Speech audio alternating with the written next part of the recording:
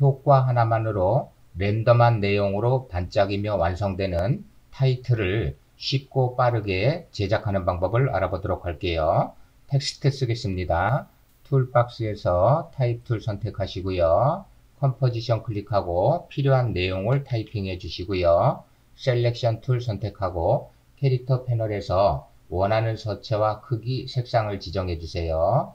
효과를 검색하겠습니다. effect and preset 패널에서 알고리즘이라고 검색해 주시고요. 알고리즘 효과를 텍스트 layer에 적용만 해주시면 되겠습니다. 재생해 볼까요?